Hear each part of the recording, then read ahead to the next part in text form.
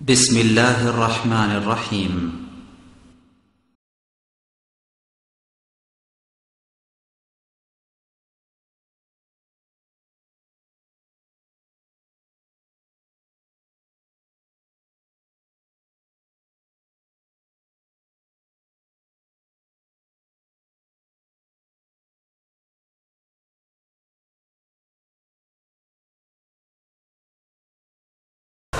السلام عليكم ورحمة الله وبركاته. الحمد لله وحده والصلاة والسلام على من لا نبي بعده. نبينا محمد ومن دعا بدعوته واستنى بسنته وسار على نهجه إلى يوم الدين أما بعد. قال الله تبارك وتعالى أطيعوا الله وأطيعوا الرسول ولا تبطلوا أعمالكم. وقال النبي الأمين صلى الله عليه وسلم من أحدث في أمرنا هذا ما ليس منه فهو رد متفق عليه. وقال من عمل عملا ليس عليه أمرنا فهو رد رواه مسلم.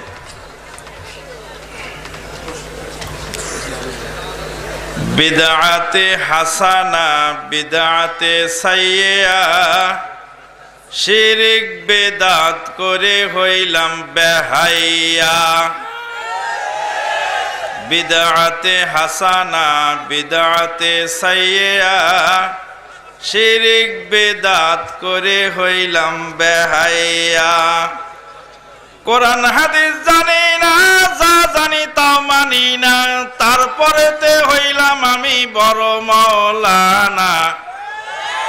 বেদাতে হাসানা, বেদাতে সাইয়া শিরিক বেদাত করে হইলাম বেহাইয়া।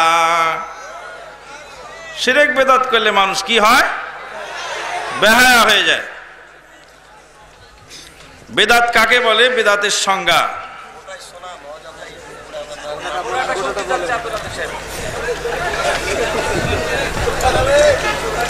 বেদাতের মধ্যে, বেদাত হলো শরীয়তের মধ্যে নতুন আবিষ্কৃত পথ ও পন্থা, যার দলিল কোরআন ও হাদিসে নেই।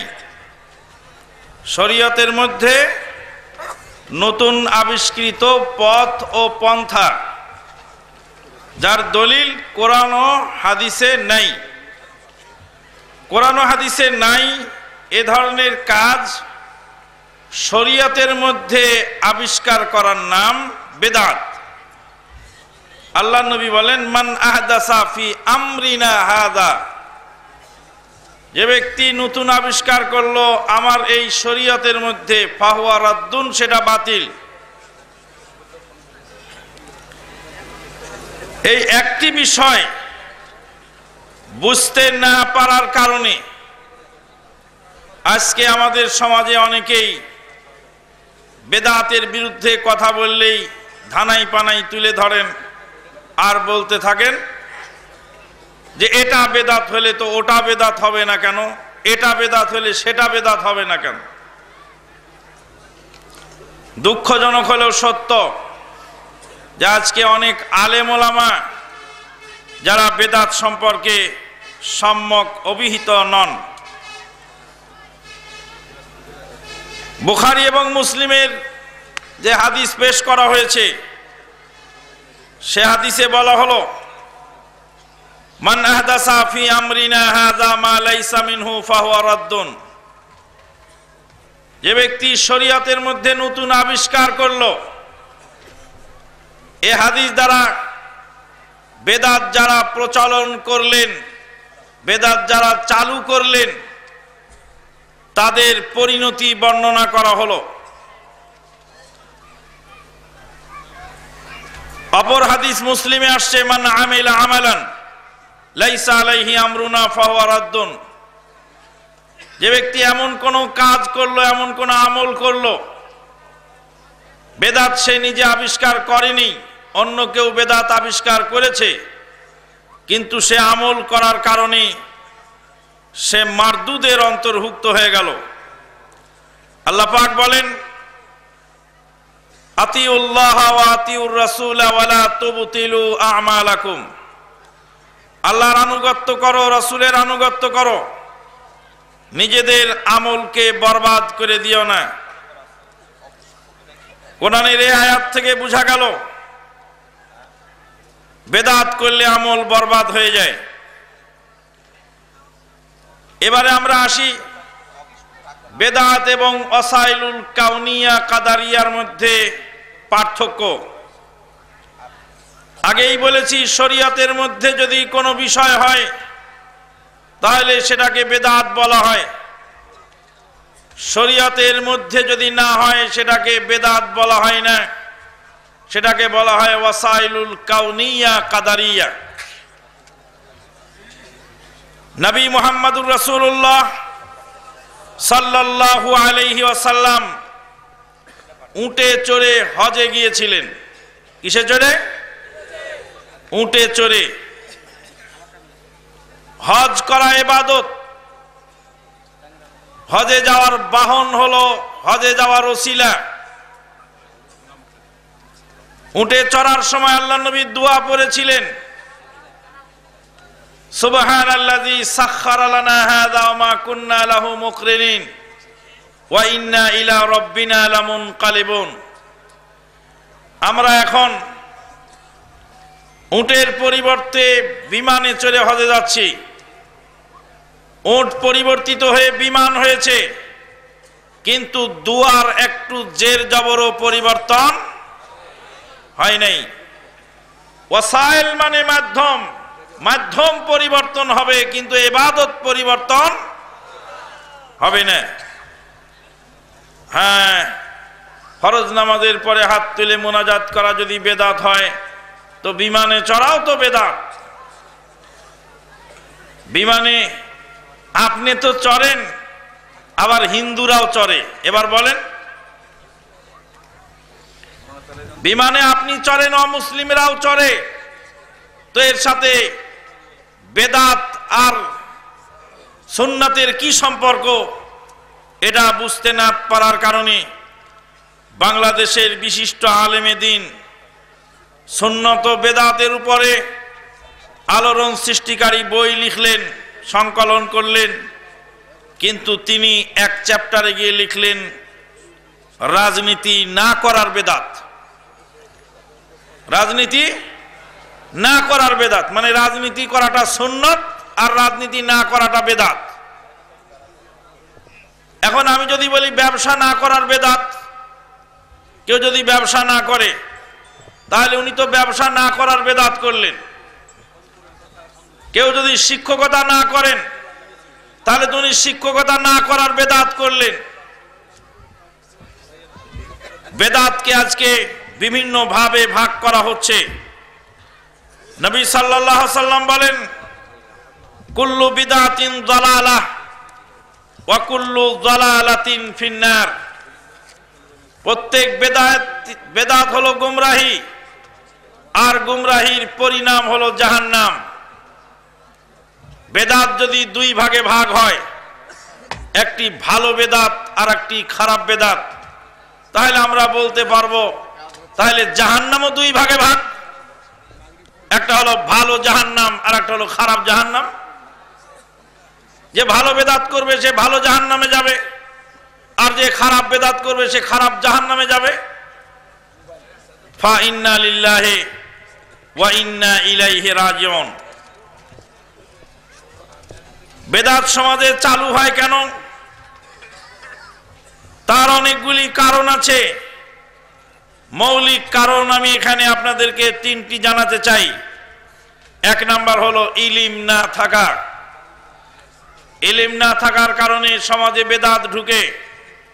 শায়খুল ইসলাম ইমাম ইবনু তাইমিয়া রহমাতুল্লাহ আলাইহি বলেছেন যে সমাজে যত প্রকার বেদাত ঢুকেছে, সব অনারবদের মাধ্যমে ঢুকেছে। অনারবগণ ইসলাম বুঝতে ভুল করার কারণে সমাজের ভিতরে বেদাত, অধিকাংশ বেদাত অনারবদের মাধ্যমে ঢুকেছে। দুই নাম্বার বেদাত ঢুকার কারণ হলো তাকলিদ। লোক দেখা দেখি আচরণ, কাউকে কিছু করতে দেখলাম আর আমিও তা করলাম। এভাবে সমাজে বেদাত চালু হয়। এসব কারণে সমাজে বেদাত চালু হয়। প্রসঙ্গক্রমে আমরা বহুবার বলেছি আবার বলি, জনৈক হাফেজ সাহেব মসজিদে ঢুকলেন, দুটি সেজদা করলেন। আর একজন হাফেজ সাহেবের পিছে ঢুকলেন, উনিও মসজিদে ঢুকলেন, দুটা সেজদা করলেন। জিজ্ঞেস করা হলো, আপনি মসজিদে ঢুকলেন, সেজদা করলেন কেন? তো সে কেন? হাফেজ সাহেব করলেন যে, হাফেজ সাহেব করলেন দলিল না থাকলে হাফেজ সাহেব করেন নাকি? হাফেজ সাহেবকে জিজ্ঞেস করা হলো, আপনি মসজিদে ঢুকলেন, দুরা দুটা সাজদা করলেন কেন? হাফেজ সাহেব বলছেন যে আমি সকালে বের হয়েছিলাম, কোরআন তেলাওয়াতের বেড়াত হাঁটতে বের হয়েছিলাম। হাঁটা অবস্থায় কোরআন তেলাওয়াত করছিলাম। কোরআন তেলাওয়াতের সেজদা আমার করা হয়নি। তাই আমি এখন সময় পেলাম, তাই দুই সেজদা করে নিলাম।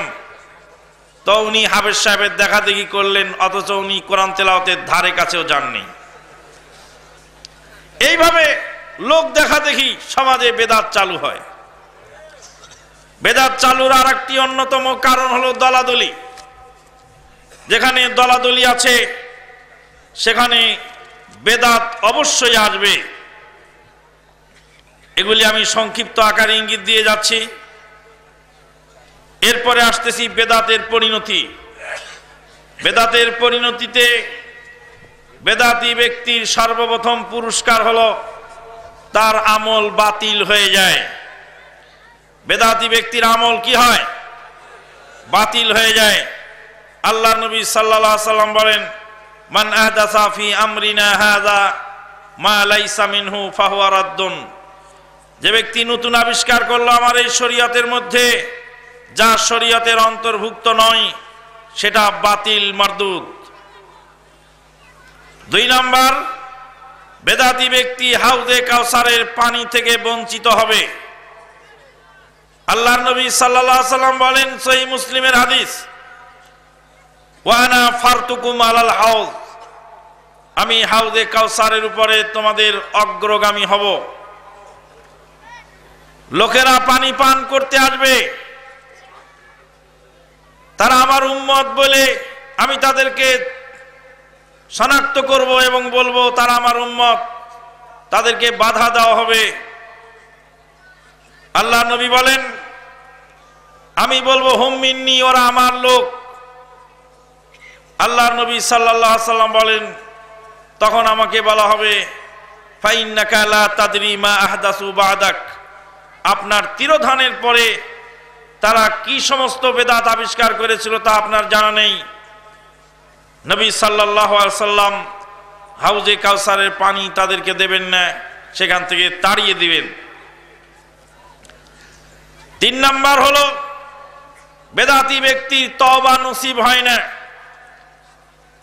মদখোর জুয়াচোর চরিত্রহীন, লম্পট দুনিয়ার সব ধরনের পাপিষ্ট ব্যক্তি তবা নসিব হতে পারে কিন্তু বেদাতি ব্যক্তির তবা নসিব হয় না কেননা বেদাতি ব্যক্তি বেদাত সোয়াবের আশায় করে থাকে আল্লাহ পাক বলছেন أعوذ بالله من الشيطان الرجيم الذين ضل سعيهم في الحياة الدنيا وهم يحسبون أنهم يحسنون صنعا যারা নিজেদের পারলৌকিক জীবনের আমলকে বরবাদ করে দিয়েছে চেষ্টা প্রচেষ্টাকে ধ্বংস করে দিয়েছে তারা মনে মনে ভাবে খুব ভালো কাজ করলাম বেদাতি ব্যক্তি বেদাত করে নিজেকে মনে একটা প্রশান্তি লাভ করে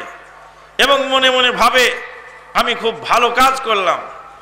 চোর তার বেটাকে চুরি শিখায় না মদ খোর তার ছেলেকে মদ খাওয়ানো শিখায় না চোরও ভাবে, আমার ছেলে ভালো হোক। মদ খোরও ভাবে, আমার ছেলে ভালো হোক। কিন্তু বেদাতি ব্যক্তি তার ছেলেকে বেদাত শিক্ষা দেয় এবং বেদাত করার জন্য ওসিয়ত করে, কারণ ওই হতভাগা জানে না যে আমি নিজের টাকা দিয়ে নিজের আমলকে বরবাদ করলাম। আল্লাহ নবী বলেন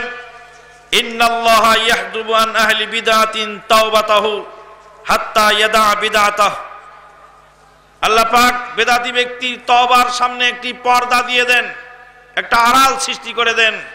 যতক্ষণ পর্যন্ত বেদাত না ছাড়ে, ততক্ষণ পর্যন্ত তার তওবা নসিব হয় না। বেদাত যারা আবিষ্কার করল, এই বেদাত আবিষ্কারক, বেদাতের সমাজে যারা প্রচলন ঘটায়, বেদাতকে যারা জিয়ে রাখে, বিদাতকে যারা জিয়ে রাখে সমাজে, দলিল দিয়ে বেদাতকে চালু রাখার চেষ্টা করে। কিয়ামত পর্যন্ত যত মানুষ সেই বেদাতের প্রভাবে প্রভাবিত হয়ে, সেই বেদাতের উপরে আমল করবে।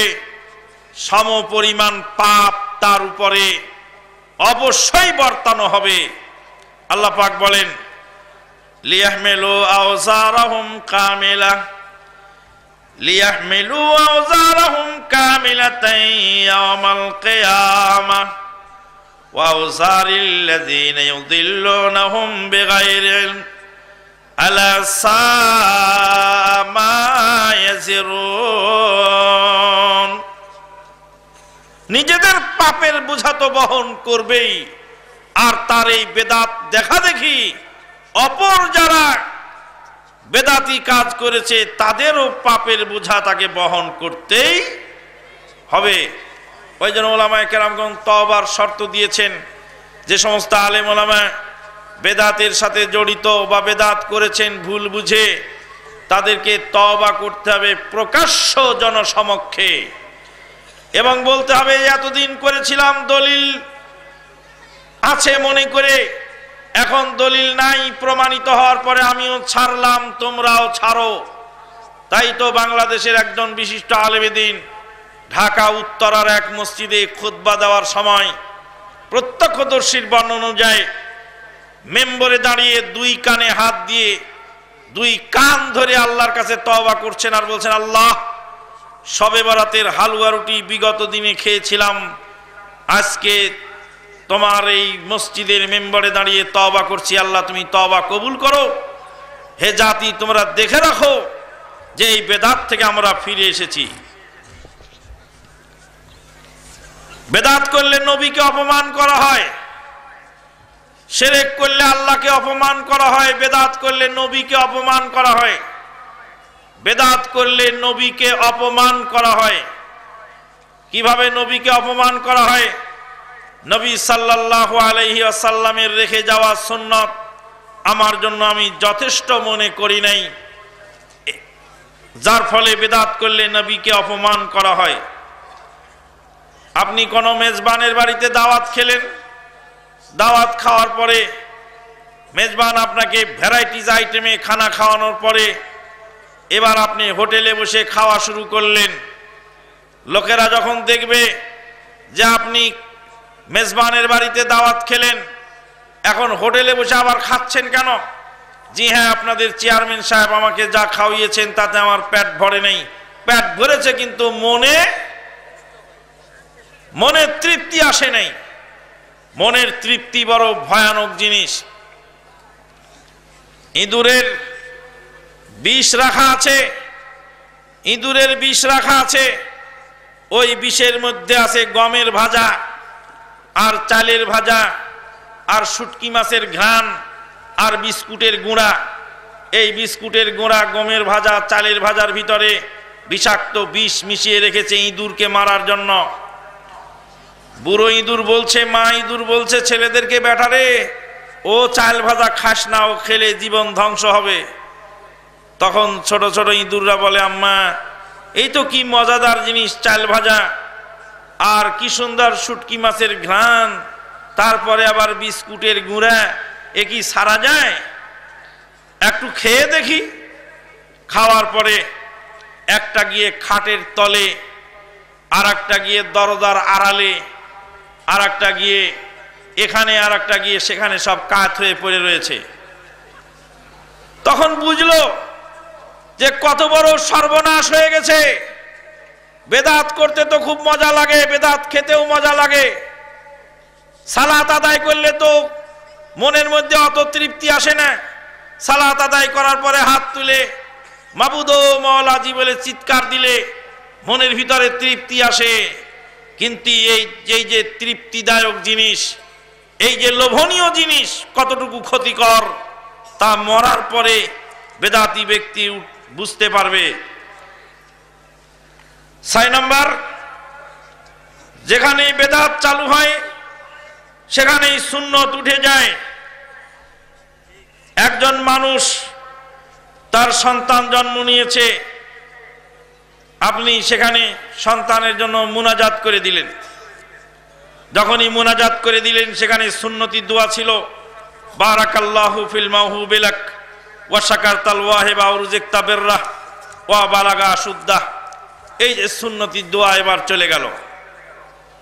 যখনই বেদাত চালু করা হয়, তখনই সেখান থেকে সুন্নত উঠে যায়। বেদাত করলে নবী সাল্লাহ সাল্লামকে খিয়ানতকারী বানানো হয়। ইমাম মালিক রহমাতুল্লাহ বলছেন মানিব তাদা ফাকাদ সাল্লামা খানা ফির রিসালা। যে ব্যক্তি বেদাত চালু করল, সে ধারণা করল, আল্লাহর নবী আলাইহি সাল্লাম ইসলাম পূর্ণভাবে আমাদের কাছে পৌঁছান নাই, বাকিটুকু আমাকে পৌঁছানোর দায়িত্ব দিয়ে গেছেন। বেদাত করলে ইসলামকে অপূর্ণ মনে করা হয়। আল্লাহ পাক বলছেন আলিয়ামা আকমাল তুলাকুম দিনাকুম ওয়া আতমামতু আলাইকুম নি'মাতি। নয় নম্বর, বেদাতের বিষয়ে আপনাদেরকে, আমাদেরকে কয়েকটি জিনিস খেয়াল রাখতে হবে। এক নম্বর হলো এবাদতের স্থান। নির্ধারিত স্থানে এবাদত যদি থাকে, সেই নির্ধারিত স্থানের বাইরে করলেই সেটা বেদাত হয়ে যাবে। মক্কা, মদিনা এবং বায়তুল মাকদেশ এই তিন মসজিদ ছাড়া অন্য কোন মসজিদে অধিক সোয়াবের আশায়, ফজিলতের আশায় সফর করা হারাম নিষেধ। যখনই অন্য কোনো জায়গা পবিত্র মনে করে সেখানে অধিক সোয়াবের আশায় সফর করবেন, যেই স্থান কোরআন ও সন্ন্যায় প্রমাণিত, সেই স্থানের বাইরে অন্যত্র গেলেই সেখানে আপনার বেদাত হয়ে যাবে। আল্লাহ নবী বলেন লা তুসাদ্দুর রিহালু ইল্লা ইলা সালাসাতে মাসাজিদা। তিন মসজিদ ব্যতীত অধিক সোয়াবের আশায় সফর করা অন্যত্র বৈধ নয়। দুই নাম্বার হলো পরিমাণ। এবাদতের পরিমাণ আল্লাহ এবং তার রাসুল কর্তৃক নির্ধারিত থাকলে সেখানে এক বিন্দু কম বেশ করতে পারবেন না। আল্লাহ নবী সাল্লাহ সাল্লাম এগারো রাকাত বিতির সহ তারাবি আদায় করেছেন। এগারো রাকাত বিতির সহ তারাবি কিয়ামত পর্যন্ত চলবে। কিয়ামতের আগ পর্যন্ত এটাকে বাড়তি করার অধিকার পৃথিবীর কাউকে দেওয়া হয় নাই। ধানাই পানাই দলিল অনেক দেওয়া হচ্ছে। দুঃখজনক হলেও সত্য, মদিনা ইউনিভার্সিটির একজন প্রবীণ অধ্যাপক, আমাদের উস্তাদ, তিনি বলছিলেন তা খুদুনা কামিয়াতার রাসুল ওমা তা খুদুনা কাইফিয়াতাহু। রাসূলুল্লাহ আলাইহি সাল্লাম কয় রাকাত পড়েছেন তা গণনা করো। কত দীর্ঘ করে পড়েছেন তা গণনা করো না কেন? আল্লাহ নবী সাল্লাহ সাল্লাম আট রাকাত পড়েছেন ধীরে সুস্থে সারা রাত ধরে। তো আট রাকাত যদি পড়বে, তো সারা রাত ধরে পড়ো। আর সারা রাত ধরে যদি না পড়ো, তাড়াতাড়ি পড়ে নাও। তো তাহলে একটু বাড়াই দিলাম রাকাত সংখ্যা। তা আমি বললাম, ইদান নুসল্লি সালাত ঈদ আর বা রাকাত। তাহলে ঈদের নামাজ আমরা আট রাখ চার রাকাত পড়ি। কারণ ঈদের নামাজ আল্লাহ নবী সাল্লাহ আসলাম যেভাবে পড়েছেন, আমরা তো সেভাবে পড়তে পারছি না। অতএব একটু বাড়তি করে দিয়ে পড়ি। তখন তিনি বলছেন, না, হলো না। ঈদের নামাজ চার রাকাত পড়তে হবে, পৃথিবীর কেউ বলেনি। যে বললাম, তারাবির নামাজ বিশ রাকাত পড়তে হবে, পৃথিবীর কেউ বলেনি। বলছে ওমর ইবনুল খাত্তাব রাদিয়াল্লাহু তাআলাহু বিশ রাকাত চালু করেছিলেন। বললাম নাসির উদ্দিন আলবানী রহমাতুল্লাহ আলহের কেতাবখানা খুলুন। সেখানে লেখা আছে, লা নুদাল্লিলু ওয়ালা নুবাদ্দিউ ওয়ালাকিন হাদা লা ইয়াজুজ। ওয়া আম্মা মা রুবিয়া উমর ইবনে খাত্তাব, ফালা আসলা লাহু। ওকে আমরা বেদাতিও বলব না, পথভ্রষ্টও বলব না। কিন্তু এতটুকু বলব এটা বৈধ নয়। ওমার ইবনুল খাত্তাব রাদিয়াল্লাহু তাআলাহু থেকে যা বর্ণনা করা হয়ে থাকে, তার কোনো ভিত্তিই নেই। তিন নাম্বার, সময় এবাদতের সময়, তেরোই জিলহাজের বেলা ডুবার আগ পর্যন্ত আপনার জন্য কুরবানি করা বৈধ। তেরোই জিলহাজের বেলা যখন ডুবে গেল, তখন আপনি শত কুরবানি করলেও একটি কুরবানি আল্লাহর রাস্তায় কুরবানি বলে গণ্য হবে না। চার নাম্বার হলো এবাদতের ধরন। যেখানে অনির্ধারিত বিষয় আছে, আপনার পিতামাতার রুহের মাগফেরাতের জন্য আপনি কিছু দান করবেন। সেই দানকে যখনই খাদ্যের সাথে নির্ধারিত করবেন। তখন অনির্ধারিত বিষয়কে আপনি নির্ধারণ করলেন, আপনি ধরন পরিবর্তন করেছেন। দান করবেন তো ভালো, তো খাদ্য দিবেন কেন? গরিব মিসকিনের যদি কাপড়ের দরকার থাকে, তাকে কাপড় দেন। যার ঘর নেই, তাকে ঘরের ব্যবস্থা করে দেন। পরিশেষে বলতে চাই, বেদাতি কাজে সাহায্য করা হারাম। ভালো করে মনে রাখবেন এই পয়েন্টে এসে আমরা অনেকেই ফেসে যাচ্ছি। রাস্তায় চলার পথে মাহফিলের চাঁদা চাইল, চট করে আপনি দশ টাকা বের করে দিলেন। ওয়ান মিন আইনাক্তাসাবাহু ওয়া মাল সম্পর্কে জিজ্ঞেস করা হবে, মাল কোন পথে এলো আর কোন পথে গেল? অতএব বেদাতি কোনো অনুষ্ঠানে, বেদাতি কোনো কার্যক্রমে আপনি অবশ্যই আপনার পয়সা সংকুচিত করবেন, সেখানে আপনার দান দেওয়া হারাম। পরিশেষে আরেকটি কথা বলে দিই। বেদাত আমাদের সমাজে এখন দুই প্রকার চালু আছে। এক হলো মাঝাবিদের বেদাত, আর এক হলো আহলে হাদিস ভাইদের বেদাত। আমি একদিন আমার এক উস্তাদের সাথে গেলাম এক দাওয়াতি অনুষ্ঠানে। আমাকে বললেন, চলো একটা দাওয়াত আছে, খেয়ে আসি। আমার আবার ভুল হয়ে গেল, আমি জিজ্ঞাসা করলাম যে কিসের দাওয়াত? দাওয়াতটা চলছে সবে বরাতের কয়েকদিন আগের ঘটনা। সবে বরাতের বিরুদ্ধে উস্তাদজি খুব বয়ান করলেন। বয়ান করার পরে বললেন যে, আপনার আত্মীয় স্বজনের মধ্যে অনেক মাঝাবি লোক এসেছিল তো, তাই সবে বরাত সম্পর্কে আমি অনেক কিছু বললাম। পরিশেষে জানা গেল যে যেই দাওয়াত আমরা খেতে গেছি, ওটা মর মৃত্যু বার্ষিকী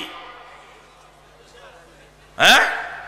এক বুড়ি আর এক বুড়িকে বলে, নানি শাশুড়ি। তো মৃত্যুবার্ষিকীর দাওয়াত খেতে গিয়ে সবে বরাতের প্রতিবাদ করা হচ্ছে।